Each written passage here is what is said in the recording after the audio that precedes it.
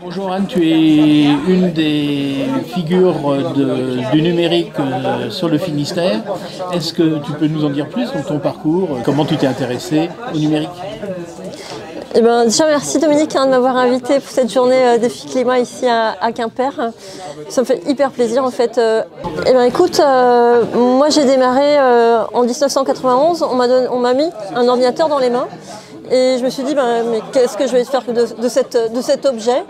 Et en fait, je me suis découvert vraiment euh, du plaisir à euh, utiliser DOS et à comprendre comment fonctionnait cette machine. Ça a vraiment été euh, les débuts pour moi. Euh, pour autant, je n'étais pas destinée à faire euh, devenir ingénieur informaticien. Euh, ben, tous les postes qui m'ont plu, en fait, étaient toujours à la marge entre ben, la gestion et le numérique. Et évidemment, ben, j'ai commencé sur, comme correspondante informatique. Correspondante informatique, c'était en 1996, euh, où je faisais, euh, j'ai accompagné euh, le changement entre, pour, des, pour des comptables entre, qui étaient sur console et ils allaient y passer sur des PC avec Windows. Voilà, ça c'était mon, mon premier, mon premier boulot. Finalement, je fais toujours le même boulot. Hein. Déjà à l'époque, voilà, sur les PC qu'on avait, on faisait euh, des migrations de, de- de systèmes pour remettre à niveau des vieilles machines. Et déjà à l'époque, c'est 1996, eh bien, euh, les machines qui, qui étaient considérées comme obsolètes ou amorties par euh, les entreprises étaient redonnées, euh, étaient mises à, voilà, elles étaient mises à nu et elles étaient redonnées aux salariés. Voilà, j'ai commencé comme ça. Actuellement, donc, tu es au Tisserand du Web, qui est basé, je crois, sur Morlaix.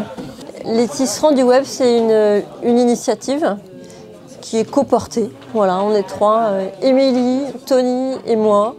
Et on a c'est Tony qui a lancé ça comme une bouteille à la mer. Voilà, les gens qui font du numérique ou qui aiment le numérique ou qui sont curieux du numérique sur le pays de Morlaix, voilà, bah, rejoignez-nous, on va co-construire quelque chose ensemble. Et ce quelque chose, donc ça c'était en 2019, on est en 2024, et bien euh, ce quelque chose, ça a été une quarantaine de rendez-vous et on continue. Euh, itinérant, évidemment, on change de lieu. Euh, de partage, euh, c'est vraiment du partage de culture numérique sur le pays de Morlaix. Et on se promène. Et on capte, ah toi ce qui t'intéresse c'est quoi les plateformes de rencontre La prochaine c'est où sont passées nos données. On a fait deux séances sur l'IA en 2023. On, on choisit un sujet, vient qui veut, ça se passe en médiathèque, ça se passe en salle municipale, ça se passe dans un tiers-lieu. Euh, L'idée c'est vraiment euh, d'amener un sujet et euh, de faire monter en compétences. En, tout cas, voilà, on ne trafique pas, on n'a pas de machine avec nous, mais en termes de réflexion, on a une heure, une heure et demie pour descendre en- en- ensemble sur un sujet qui est relativement complexe. Tu fais également partie d'Ogo? Voilà, Euh, j'ai rejoint, ça fait deux ans que je suis euh, les aventures d'Ogo. Donc Ogo, c'est euh, Ordi Grand Ouest, c'est une filière de reconditionnement d'équipements euh, numériques sur la Bretagne, mais Grand Ouest, hein, jusqu'à euh, jusqu'à Nantes. Et je les ai rejoints donc euh, en septembre euh, pour euh, une recherche-action sur le centre Bretagne.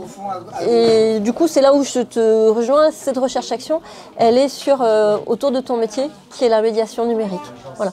Comment, qui fait la, médiation numérique en centre Bretagne Comment ça se passe quels, quels sont les habitants qui sont en demande Et nous, au Go, au Go, on voilà, on a la capacité en fait euh, de reconditionner des machines sur toute la Bretagne.